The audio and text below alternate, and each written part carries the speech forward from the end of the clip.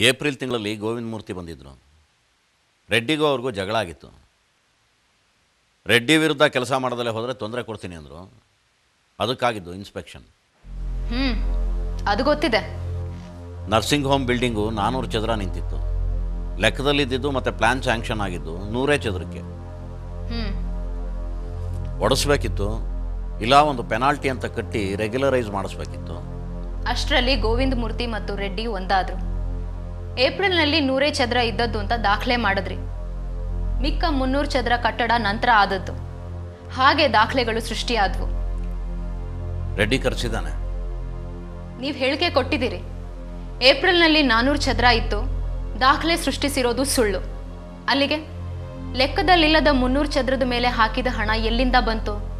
ಅದ್ರ ಮೇಲೆ ತೆರಿಗೆ ಬರುತ್ತೆ. ಹೆದರ್ಸ್ತಾನೆ. ನಿಮ್ಮ ಹೇಳಿಕೆ ಅವನ ವಿರುದ್ಧ. ನಿಮ್ಮನ್ನ ಕ್ರಾಸ್ ಎಕ್ಸಾಮಿನ್ ಮಾಡೋದು ಅವ್ರ ಹಕ್ಕು. ಅದಕ್ಕೆ ಮೊದಲು ನಿಮ್ಮನ್ನ ಕರೆಸಿರೋದು. ಏನು ಹೇಳಿ? ಅದು ನಿಮಗೆ ಬಿಟ್ಟಿದ್ದು.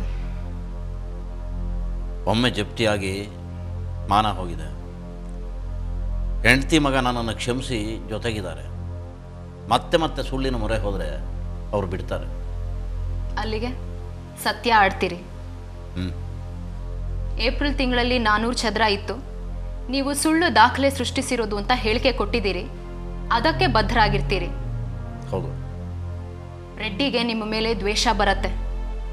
ಬರಲಿ. ಈ ಹೇಳಿಕೆ ಪ್ರತಿ ತಗೋತಾನೆ ನಿಮ್ಮ ಇಲಾಖೆ ಕಳಿಸ್ತಾನೆ. ಅನುಭವಿಸೋದು. ಯೋಚನೆ ಮಾಡಿ.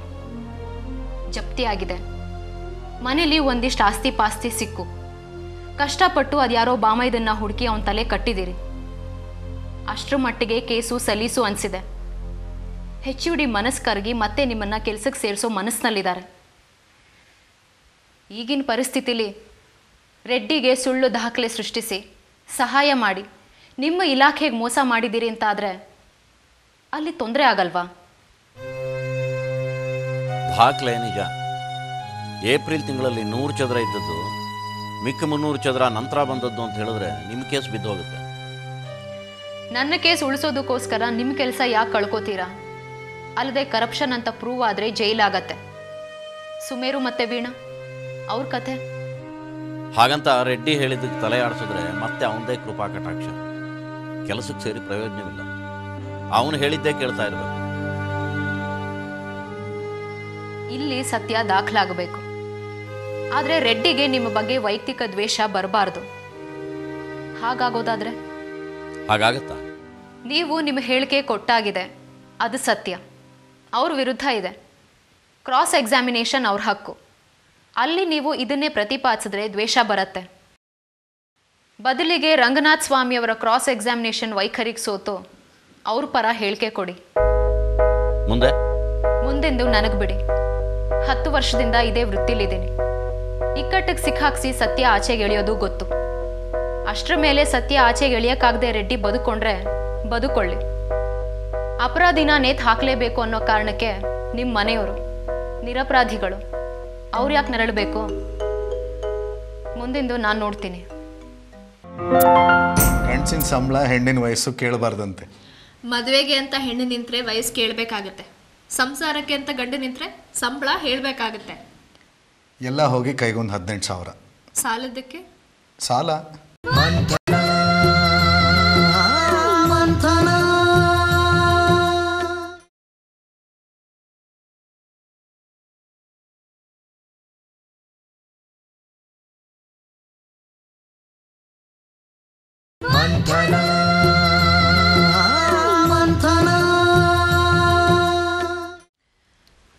ಹೊಟ್ಟೆ ರಾಯನ ನಿತ್ಯ ದಟ್ಟಹಾಸವೋ ಬಾಳು. ದುಷ್ಟದ ನಿಯೂಳಿಗಕ್ಕೆ ಒಡ್ಡು ಮೈ ಬಾಗು ಹಿಟ್ಟಿಗಗಲಿದ ಬಾಯಿ ಬಟ್ಟೆಗೊಟ್ಟಿದ ಮೈ. ಎಕ್ಸಾಜರೇಟ್ ಮಾಡಬೇಡ ಅಷ್ಟು ಕೆಟ್ಟಿಲ್ಲ. ಪಾಸಿಟಿವ್ ಆಗಿ ಹೇಳ. ನಾನು ಬಡವಿ ನೀನು ಬಡವ ಒಲವೇ ನಮ್ಮ ಬದುಕು. ಬಳಸಿಕೊಂಡೆವು ಅದನ್ನೇ ನಾವು ಅದಕ್ಕೂ ಇದಕ್ಕೂ ಎದಕ್ಕೂ. ಸಾಹಿತ್ಯ ಉಕ್ಕಿ ಹರಿತಿದೆ. ಹೂರ್ಣ ಅಷ್ಟ್ ಚೆನ್ನಾಗಿಲ್ಲ ಕೆಟ್ಟಿದೆ. ತೋರ್ಣ ಹೊಸ್ತು ಕಟ್ಟಿ ಶುರು ಮಾಡ್ತಿದ್ದೀನಿ. ಹೇಳು. ಪದ್ಮ ಹೊರಟ್ಲು. ಅಂದರೆ? ಆಫೀಸಿಂದ ಅವಳನ್ನ ಅಮೆರಿಕ ಕಳಿಸ್ತಾ ಇದ್ದಾರೆ ಹೋಗಿ ಬರ್ತಾಳೆ. ಈ ಸರ್ತಿ ಅವಳು ಬರಲ್ಲ. ಇಷ್ಟು ದಿನ ಇಲ್ಲಿ ಇದ್ದದ್ದು. ಅಲ್ಲಿಗೆ ಹೋಗಿ ಬರೋಳು.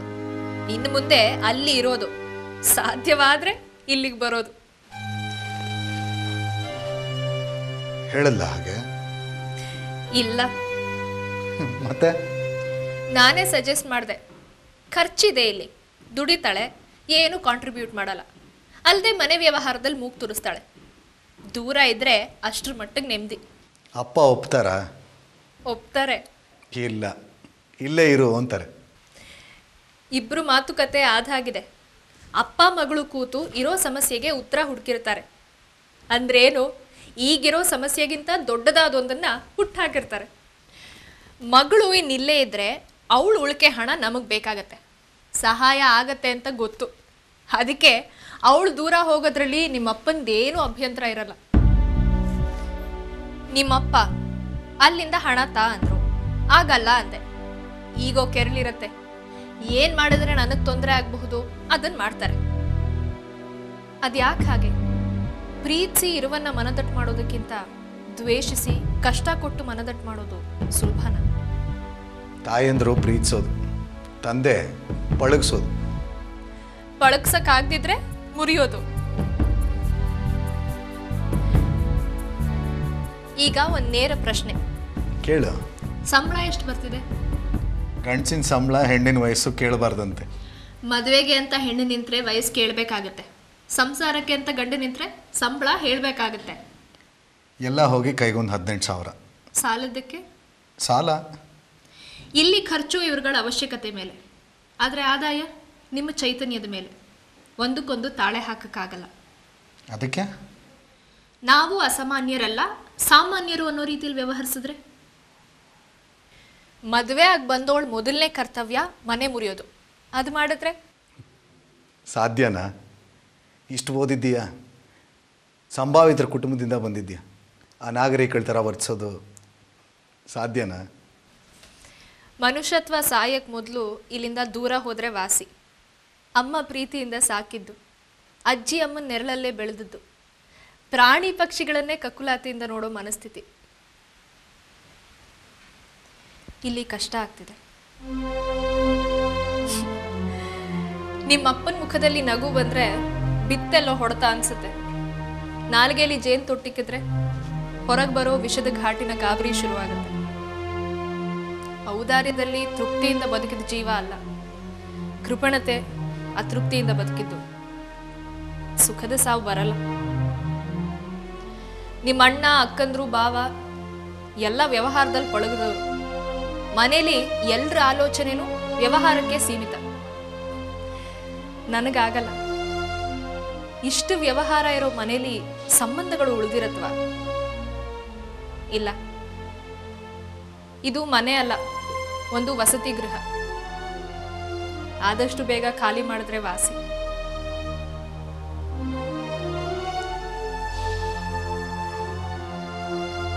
ಅಪ್ಪನ ಕಾಲ ಮುಗಿಯೋ ಮೊದಲು ಇದು ಸೌಕರ್ಯ ಆಗಲ್ಲ. ಅಲ್ಲಿವರೆಗೂ ತಡೆದ್ಬಿಡು ನಂತರ ಬಿಟ್ಟು ಹೋಗೋ ಅವಶ್ಯಕತೆ ಏನಿರುತ್ತೆ? ಅಣ್ಣ ಅತ್ತಿಗೆ ಇರಲ್ಲ. ಪದ್ಮ ಹೋಗಿರ್ತಾಳೆ. ಉಳಿಯೋದು ಅಮ್ಮ ನೀವು ನಾನು. ಸಮಸ್ಯೆಗೆ ಪರಿಹಾರ ಸಿಕ್ಕ ಹಾಗೆ ಅಲ್ವಾ? ಕ್ರೌರ್ಯ ಶುರು ಆಗೋದು ಅಲ್ಲೇ. ನಮ್ಮನೆ ಸಮಸ್ಯೆ ಅಲ್ಲ ಇದಿಷ್ಟು ಪಕ್ಕದ ಮನೆ ಸಮಸ್ಯೆ ಅಂತ ಆಡೋಣವಾ. ಕಾಲಮಾನ ಮುಗಿದ ನಂತರ ಬಿಡುಗಡೆ. ಯಾವಾಗ ಮುಗಿಯತ್ತೆ? ಕೂತ್ ಕಾಯೋದು ಕ್ರೌರ್ಯ ಆಗತ್ತೆ. ಬೇಡ. ಬೇಗ ನಿರ್ಧರಿಸಿ. ಒಮ್ಮೆ ಕಟಕರಾದ ಮೇಲೆ ನಮಗೂ ಸಂಸಾರ ಅಸಾಧ್ಯ. ಅಳಿಯಿನ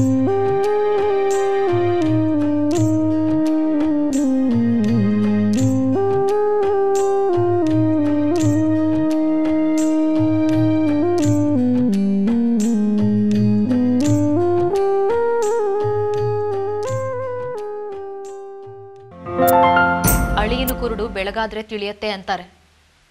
ತಿಳಿದಿತ್ತು. ಮುಚ್ಚಿಟ್ಕೊಂಡಿದ್ದೆ. ನನ್ನ ಕುರುಡು ಪ್ರಪಂಚಕ್ಕೆ ಗೊತ್ತಾಗದೇ ಇರಲಿ ಅಂತ. ಮಂಥನ.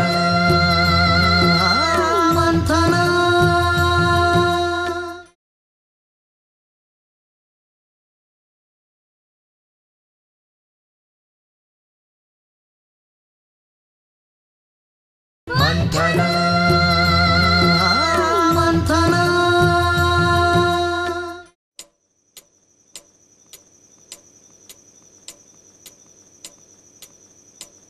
ಕಾರ್ನ ಹುಡುಕ್ತಿದ್ದ. ಸಿಕ್ತು.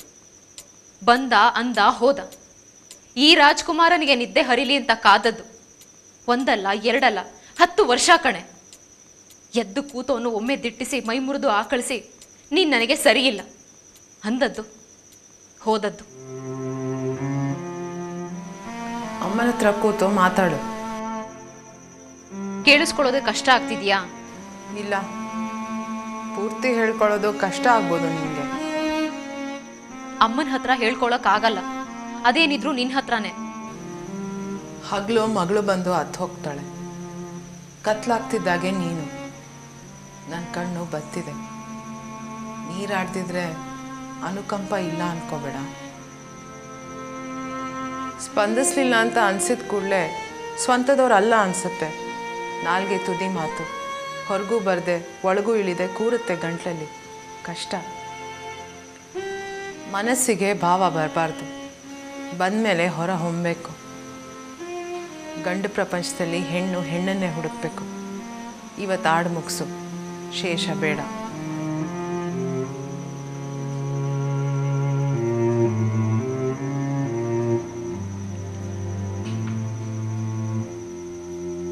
ಮಕ್ಕಳಾಗೇ ಇರ್ಬೋದಿತ್ತೇನೋ? ಇರ್ಬೋದಾಗಿತ್ತು. ಆಗ ಆಸೆ. ಬೇಗ ದೊಡ್ಡವರಾಗಬೇಕು ದೊಡ್ಡವರಾಗಿ ಎಲೆ ಅಡಿಕೆ ದವಡೆಲೂರಿ ಜಗದು ರಸ ಹೀರಿ, ನಾಲ್ಗೆ ಕೆಂಪುಗಾಕ್ಸಿ ಹೊರಗೆ ಚಾಚಿ ಕಣ್ಣಂಚಲ್ಲಿ ನೋಡಿ ಹೆಮ್ಮೆಯಿಂದ ಬೀಗಬೇಕು.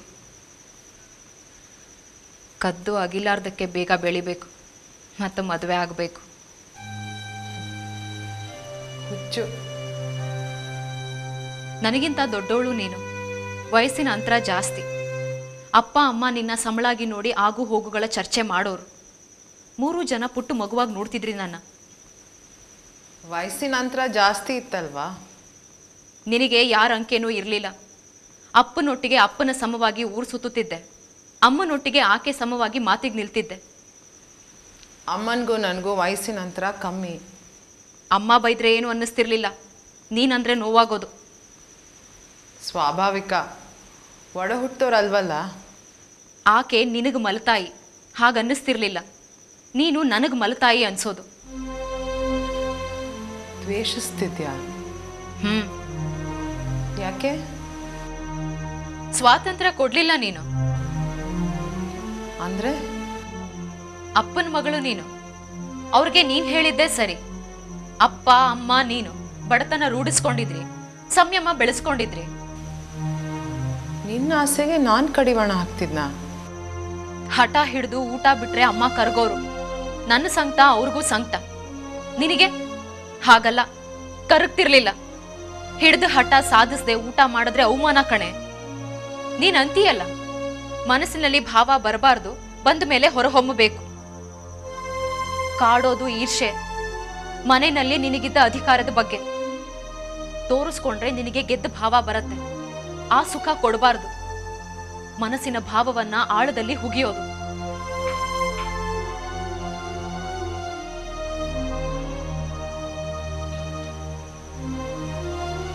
ಆ ವಯಸ್ಸಲ್ಲಿ ಅಷ್ಟು ಯೋಚಿಸ್ತಿದ್ಯಾ? ಕಾಡ್ದೋಳು ನೀನು ಕಾಡಿಸ್ಕೊಂಡೋಳು ನಾನು. ಭಾವಗಳು ಮನಸ್ಸಲ್ಲಿ ಹೇಳ್ತಿದ್ವು.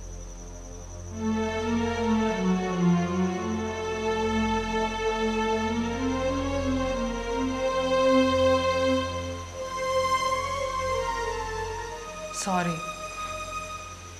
ಆಗ ಅರ್ಥ ಆಗಲಿಲ್ಲ. ಅಪ್ಪನ ಬಡತನ ಗೊತ್ತಿತ್ತು. ಅವ್ರಿಗೆ ನೋವು ಆಗ್ದ ಹಾಗೆ ಎಲ್ಲರೂ ಬದುಕಬೇಕು ಅನ್ನೋ ಭಾವ. ಆಸೆ ಪಡ್ತೀವಿ. ಅದು ಗೊತ್ತಾಗಿ ಪೂರೈಸೋಕ್ಕಾಗ್ದಿದ್ರೆ ಅಪ್ಪನಿಗೆ ನೋವು. ಆಸೆಯ ಭಾವ ಮನಸ್ಸಲ್ಲಿ ಬರೋದು. ಹೊರಹಾಕೋಕೆ ನೀನು ಬಿಡ್ತಿರ್ಲಿಲ್ಲ. ದ್ವೇಷಿಸ್ತಿದ್ಯಾ ಅಪ್ಪ ಸತ್ತ ದುಃಖಕ್ಕಿಂತ ನಿನಗೆ ಮದುವೆ ಅನ್ನೋದ್ರ ಬಗ್ಗೆ ಸಂತೋಷ ಇತ್ತು. ಮದುವೆ ಆಗ್ತಿದ್ದೀ ಅನ್ನೋ ಸಂತೋಷ ಅಲ್ಲ ಹೋಗ್ತಿದ್ದೀ ಅನ್ನೋ ಸಂತೋಷ. ಮನಸ್ಸಲ್ಲೆಲ್ಲೋ ಅನಿಸಿತ್ತ, ನೀನ್ ನನ್ನ ನರಳಿಸಿದ್ದಿ, ಅದಕ್ಕೆ ಸುಖ ಇರಬಾರ್ದು ಅಂತ. ಸಾಧ್ಯನ? ಅಕ್ಕ ತಂಗಿರ್ ಮಧ್ಯೆ ಈ ಥರದ ಭಾವ? ಕಾಣೆ, ಇರಲೂಬಹುದು. ಒಡ ಹುಟ್ಟೋ ನಡುವೆ ಈರ್ಷೆ ಇರುತ್ತೆ ಅಂತಾರೆ. ನಾವು ಒಡ ಹುಟ್ಟವ್ರಲ್ಲ ಇದ್ರೂ ಆಶ್ಚರ್ಯ ಇಲ್ಲ. ನಿನಗ್ ಕಾಡಿಲ್ವಾ ಯಾವತ್ತು? ಸುಳ್ಳು ಹೇಳಬಾರ್ದು. ಕಾಡಿದೆ. ಅಂದ್ರೆ? ಅಮ್ಮ ಸತ್ ನಂತರ ನಿಮ್ಮಮ್ಮ ಬಂದದ್ದು ನನಗಿಷ್ಟ ಆಗಲಿಲ್ಲ. ನಂತರ ನೀ ಬಂದದ್ದು. ಅಪ್ಪ ಸಂಬಳ ತರ್ತಿದ್ರು. ಅಮ್ಮ, ನಾನು, ನೀನು. ಮೂರು ಜನಕ್ಕೂ ಅಪ್ಪ ಆಸರೆ. ಅಮ್ಮಂಗೆ ಅನಿಸಿರ್ಬೋದಾ? ನನ್ನ ನೆಂಟಸ್ಗೆ ಚೆನ್ನಾಗಿದ್ದಷ್ಟು ದಿನ ಅಪ್ಪನ ಆಸರೆ ಇರುತ್ತೆ. ಹಾಗಾಗಿ ನನ್ನ ಬಗ್ಗೆ ಭಾಳ ಪ್ರೀತಿಯಿಂದ ಇದ್ರ. ಅವಶ್ಯಕತೆ. ಅದಕ್ಕಾಗಿ ಬೆಸದ ಸಂಬಂಧನ? ಅಪ್ಪ ಸತ್ ಕೂಡಲೇ ನನ್ನ ಮದುವೆ ಮಾಡಿ ಕೈ ತೊಳ್ಕೊಂಡ್ರ. ಅಮ್ಮ ಮಗಳು ಒಂದಾಗ ಕೂತ್ರ. ಇದು ಕಾಡಿದ್ದು. ನಂತರ ಪೂರ್ತ ಆಯಸ್ಸು ನಿನ್ನೊಟ್ಟಿಗೆ ಕಳೆದ್ರಲ್ಲ? ಬೇರೆ ಮಾರ್ಗಗಳು ಎಲ್ಲಿದ್ವು? ಇಲ್ವಾ? ಎಲ್ಲಿತ್ತು? ನೀ ಹೊರಟಾಗಿತ್ತು. ಅಮ್ಮ ಬರಲ್ಲ ಅಂದ್ರು. ಬರ್ತೀನಿ ಎಂದಿದ್ರೆ ಕರ್ಕೊಂಡು ಹೋಗ್ತಿದ್ಯಾ? ಸತ್ಯ ಹೇಳು. ಕೇಳಿದ್ರೆ ಕರ್ಕೊಂಡು ಹೋಗ್ತಿದ್ಯಾ?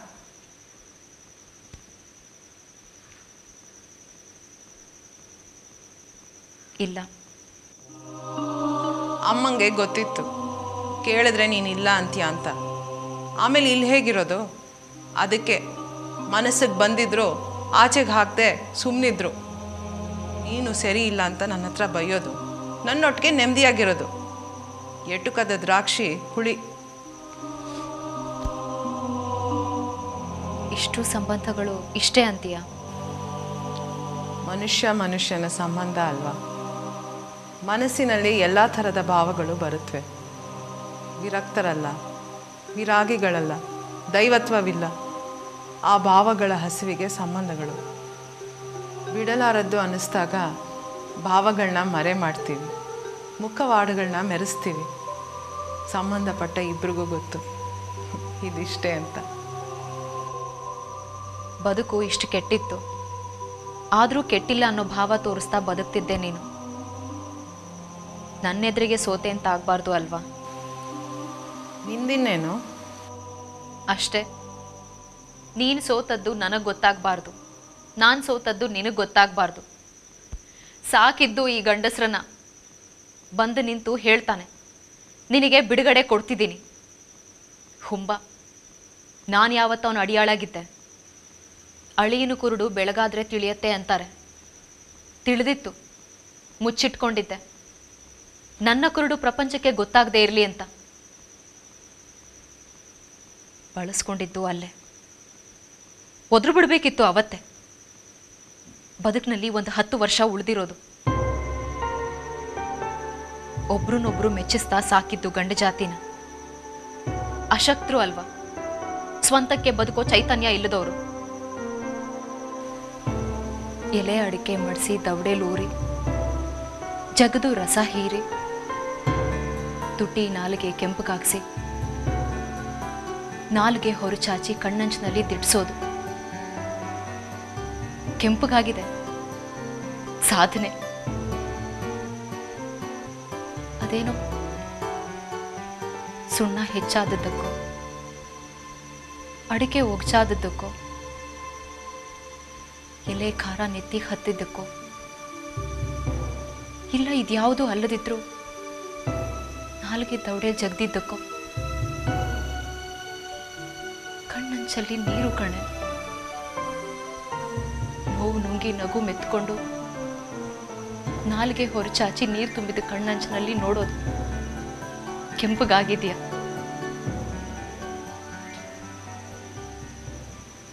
ನನ್ನ ಕಣ್ಣು ಕೆಂಪಗಾಗಿದೆಯಾ?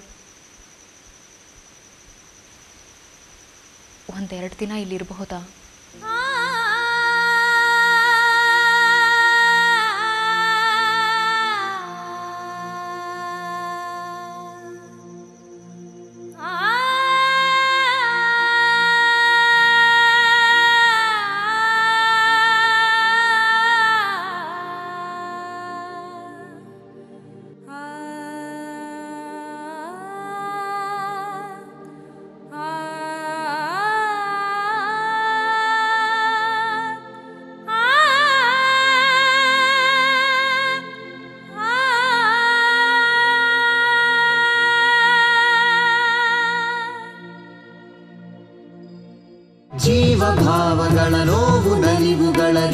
Chirantana, Chirantana.